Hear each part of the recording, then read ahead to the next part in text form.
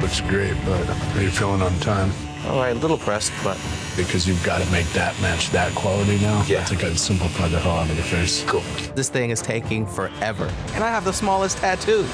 Tim better get done or he's in big trouble. So slow.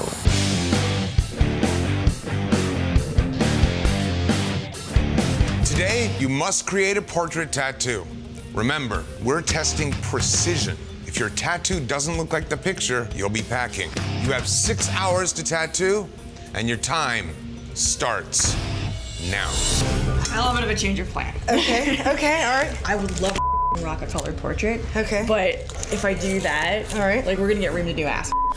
I do colored portraits all the time, but the judges all love black and gray more than color. This is $100,000, and I would feel a lot more comfortable if we were doing this in black and gray. So, are you cool with this direction? I mean, I don't mind it in black and white. I don't. You can still capture him in it. I'm going to duplicate this photo down to the very stitch in her child's shirt. I am going to show the judges how precise I can be. Sarah. Kids can be tricky. There's not a whole lot of wrinkles and dimensions. It doesn't necessarily have to be wrinkles in order to add character. Honestly, I kind of like doing kid portraits. This tattoo is amazing. The face, you nailed his character, the likeness is totally there. I like how you went with the shadow underneath the chin. You went a little bit lighter. It kind of brings out the edge of the chin, which was a good call. It's awesome. You gave yourself the time to really make it nice, very precise. Well, you guys wanted to see precision.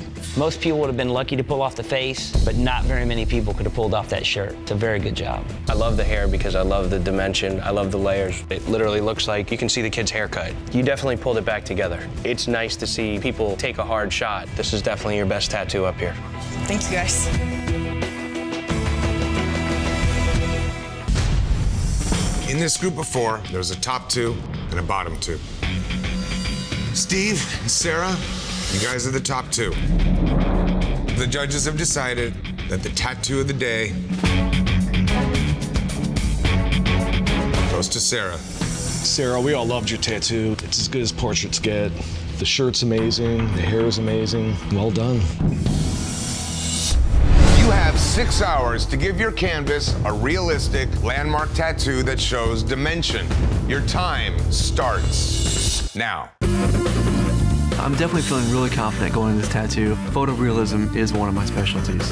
Go back just a little bit. There you go. I'm basically kicking some ass and showing the detail and the dimension. A lot of the people are like, oh, I can do photorealism. I don't think uh, half of them here really can do it. Joey, Man, this is a nice tattoo. A lot of the detail on this is suggestive, and that's what I like about it. A lot of little tricks in there to suggest all those beams without actually outlining every single beam. The darkness and the richness in this really gives you the sense of dimension. Great job, man. It's good to see somebody shine. the judges have decided that the best tattoo of the day goes to Joey. It's a beautiful tattoo. You really created a lot of depth and dimension with it. Congrats. Thank you. You have six hours to demonstrate precision by tattooing a portrait. And your time begins now. Let's do this, man. Let's get this going. Today, these artists really have to show precision because they have to really showcase the subtle details that make that person come alive to their friends and family. I think that's gonna be the great. It's much tougher to go head to head doing the exact same photo because the weaknesses are completely obvious. I can't even remember the last time I did a portrait. Even though I don't do portraits on a daily basis, I know I'm gonna beat Jason. I've worked my ass off to be where I'm at. I am straight edge. I stay at home and I draw so that I can go in, kill it every time. I came to just do my best. Cleen. You went head to head with Jason. You killed it on the details and the hat and the jacket and the emblems. The little highlights on the U.S. symbols on his lapel is just great. For precision challenge, I think you nailed it. You even added a highlight to the tie that isn't shown in the photo, which I really like because there's certain things you can make better in a portrait, and you did that. You excelled. It was just done nicely and sharp and meticulously. That's what wins this competition. Who wins the head-to-head competition between Cleen and Jason? There's no mistaking the difference in the quality of how smooth and how nice Cleen's is. Final decision. Cleen. My pick is clean. Cleen. Cleen. The winner of the head-to-head competition is Cleen. Congratulations. Thank you. Okay, artists, you have six hours to face off tattooing against your teammate. One artist from each team will be eliminated. Your time begins now. All right, let's do this, brother. Let's do it. Let's get this this off. Face-off situations create one of two things, complete success or total failure. Can I see that stencil? And just work through it, add all the texture I need. The battle royale begins. What do you think, Gia? My personal opinion would be to angle it down because it's more flattering on the body. I'm kind of liking the way that it's placed. You know, don't but- change your plans. Both teams are doing animals for black and gray realism. Texture is abundant. Wet pupils, feathers, fur, teeth. Today would be a great day for somebody to really show off. I suggested tilting the head because right now it's like falling back on the thigh. And he was like, mm, no. If you don't take advice from people that know what they're talking about, your tattoo is going to suffer. Especially going up against me.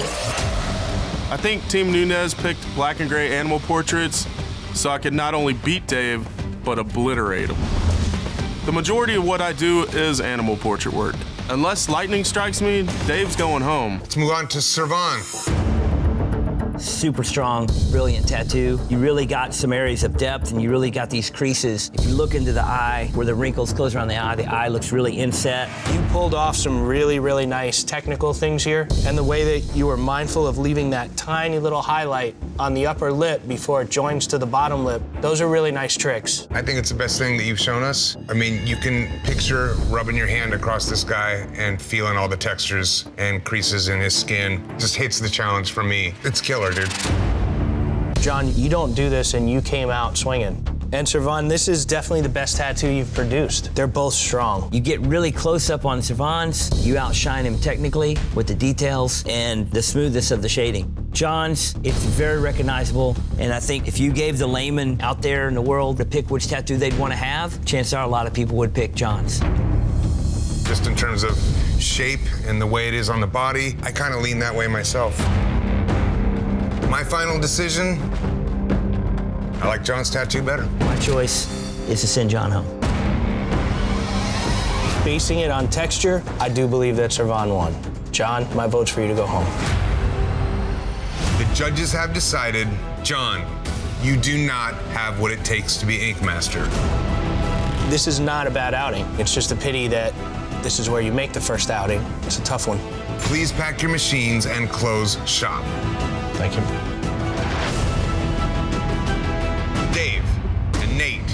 Tattooed black and gray realistic animals head to head. One of you will be packing your machines. Nate. This thing came out really dynamic. Your use of negative in here was really nice. These areas where without any lines at all, you still have the inference of these whisker type feathers going off the eyes and in front of the beak. If you look at the top of the head and you see those little negative spaces, it looks like you could brush your finger over the top of that and those would individually move every single time. That is top-notch work. For you to be able to come in under pressure and knock this thing out of the park like this, I mean, I couldn't expect you would ever be in the bottom again. This actually is a tough challenge right here because you've got one guy that is obviously familiar with this style. You have another guy who never done this style. So he's fighting an upward battle. I need a final decision. Nate, this is a stunning tattoo, man. My choice is for Dave. Dave. The judges have decided, Dave, you do not have what it takes to be Ink Master. Please pack your machines and close shop. This competition is about forming alliances with people. And if you don't form the right alliances with people, you get to do black and gray realism against Nate Beavers. That's why I'm going home. You have six hours to tattoo. If you fail, for you, this battle is over. And your time starts now. Let's get this thing started. We're testing composition by giving these artists color realistic battle scenes. Now, this is kind of what we're thinking. It's beautiful. Cool, yay, awesome. There's many different elements that are occurring at once. There's movement, you have flesh, you have cloth, there's a foreground, and you have a background. And that all takes composition to execute. Do you want to do anything above it? Yeah, like we do like a little trail here, detail these stuff in front of the boat. I'm definitely giving my input on this one. I'm making sure that DJ hears me. Looking good, DJ. If he listens to me and if I listen to him, I think we can pull this off. That's dope. Keep underestimating me while we keep winning. Old Town Ink. The composition is great. You see the foreground, you got a couple little images floating up close, the ship sitting nicely on the plane of the water, and then you have the horizon line in the back. It gives it depth. You've got a tiny little inference of these palm trees in the background to show that this is, in fact, Hawaii. You guys did a beautiful tattoo. You worked your asses off in six hours. There you go. Thank you. Thank you so much. Okay, judges, it is time to announce tattoo of the day. There's no debate in my mind that it's Old Town. I don't think anybody else in the room gets close to hitting it. Congratulations, guys. Old Town Ink, best tattoo of the day. Just don't think so hard. No, I won't. Black and gray realistic tiger, it's one of the things I do the least. I think you'll do better if you think about it like color, because that's your. Yeah. No, try to add texture in a stripe if it's black. Anthony played a very strategic choice to set Gary up for the win and to really screw me and take me out of this thing. I'm here to not let you down today, my man. He played his cards really well, and I'm super nervous. Enjoy this. I got faith. I got faith. You have six hours, and your time starts now. Awesome. Ready? Now we go. Yes. Gary versus Josh, if there's a fist fight to be had, these guys are the ones to do it. Dig it? Yeah. A realistic tiger can be very tricky because somebody has to know how to emulate different values of fur for the different values of stripes and colors in the tiger. You Can give me that face done in two hours? I hope so. You have to be able to hit the textures of the mouth, precise with the whiskers, shiny with the eyes. This whiskers right here is just a hair higher than the picture. I might just fade that off anyway. All around, there's a lot to a realistic tiger. All right, lady, ready? Yep. All right, brother. Go get him, dude. I am not going to leave Gary's side because this is probably one of the most important tattoos of his lifetime. He gets to take out one of the biggest players in the house. So I'm going to sit right here and make sure he does this thing the way it needs to be done. You don't have to lay that light of a line. They still want longevity, bro. Thanks, coach. Even though me and Josh butt heads, we need to put our differences aside. This is all pretty much one value. This Yeah. weird Yeah, t-shirt gonna- shape, like almost. I want to texture it. Yeah, yeah. I've showed him a few tricks to get through this challenge. Hopefully he listens to me for once and actually applies them. Pay attention to your reference. Haven't seen you look at it once. I can't lose another artist, especially Josh.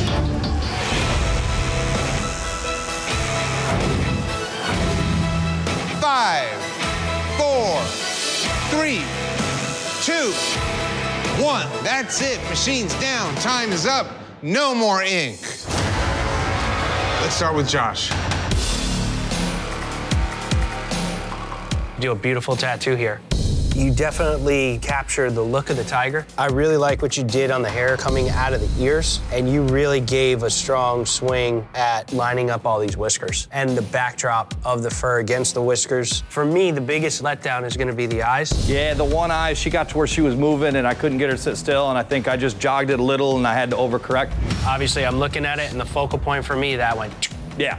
You show off quite a few different textures. You really hit the wetness of the bottom lip. The top teeth get a little bit away from you, like the one tooth that's a little more standing on its own. Yours is a little different than the reference. In the stripes underneath the face, all that fur and all the little lines you put in each stripe to really show the directions fur is amazing. I really just shot for something that literally looked like it could leap right off his skin. It is a beautiful tattoo, man. Thank you. Gary. I love the pose you chose. I love the image you chose. I particularly love the look you got in the tiger's eyes. Those eyes look beautiful and wet. Really great little attention to detail. Where I think you have challenges, your whiskers make new shapes. They look more electrifying. It doesn't have that slow, flowing, long, wispy feel to it. It's a little spider webby towards the edges. And one thing that would help this tattoo out a lot is if the top of the head was the top of the tattoo. Where you put the arch of the back, it rounds this whole thing off to a big ball shape. Same with underneath the cheek right here. If you would have left a little bit of breathability, that shape of that chin would have looked really strong. But you show us a really nice black and gray tattoo, solid black, multiple tones. Thank you very much. It is now time to determine who is going home. I have a hard time getting past the whiskers against that white fur. I don't know what the I'm looking at. My vote's for Gary. These are two well executed tattoos. Gary's does get a little more hard to read in the bottom half of the tattoo. I gotta vote for Gary. My vote's also for Gary. The judges have decided, Gary, you do not have what it takes to be Ink Master. Please pack your machines and close shop. Thanks, guys. Thanks, everyone. Thank you, Gary. I stood up and defended myself. I proved that I'm a well-rounded, good artist. I gave Josh a run for his money, made him scared. It was one of the greatest experiences of my life. Have six hours to tattoo an animal portrait, and your time starts now. Looks great, but are you feeling on time? All right, a little pressed, but. Because you've got to make that match that quality now? Yeah. I think I'd simplify the hell out of the face. Cool. This thing is taking forever. And I have the smallest tattoo. Tim better get done or he's in big trouble. So slow. It was painful watching the goddamn stencil. He, he peels them off just as slow as he tattoos. Yeah. Tim. It's gone. Smallest tattoo of the day, but man, you hit it right on the head. That dark black fur texture like that is really hard to pull off. You've got a lot of different tones in this tattoo. Solid black, a little bit lighter, all the way down to your softest grays. The details are amazing. Precision was key in this. You show a side of you that's probably really scary for the back line. This is what we're looking for here, someone who can do everything. Appreciate it, guys.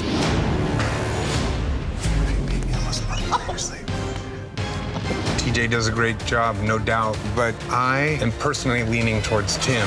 Both these guys really killed it. Tim really makes some smart choices on how to do that dark fur. My decision is Tim. What? TJ. I'm going with Tim. The judges have decided the best tattoo of the day goes to Tim. I'm very shocked. Would you like to explain to us why we're wrong? No? You have six hours to tattoo a black and gray realistic U.S. landmark. And your time starts now. Lots of little details going on here. I wish it didn't have to hurt. I'm doing the Taos Pueblo. Bob told me it's a big rock formation, but turns out it's an entire town made out of adobe. It's like one of the most detailed tattoos I've ever done, I'm not gonna lie. Black and gray realism is my specialty. If I don't nail every single ledge and window and stair in this tattoo, I'll never hear the end of it. Angel. You took a smart approach to this tattoo because it is illustrated. You have a lot of smooth shading. You have areas that transition. All the negative in the face of these buildings shines so bright because you put the mountain behind it dark. You put the ground in front of it, medium tone. It's really legible. It's really clear. But this is a New Mexico Pueblo. Mm-hmm. That is a saguaro cactus. It only grows in Arizona. Oh, shoot. that is my bad. But overall, I think it's a very smart play on how to attack this. Thank you. Kill it. Good job, Angel. All right, judges, time to determine who had the best tattoo of the day. I really love what Angel did. When you see Angel's finished tattoo, where all the bells and whistles are on the whole landscape, it tells a better story and is a better all-around tattoo. Final decision. Final decision is Angel because Jarrell didn't finish his drawing. My vote is also for Angel. Ah, cool. The judges have decided that the best tattoo of the day goes to Angel. Thank you.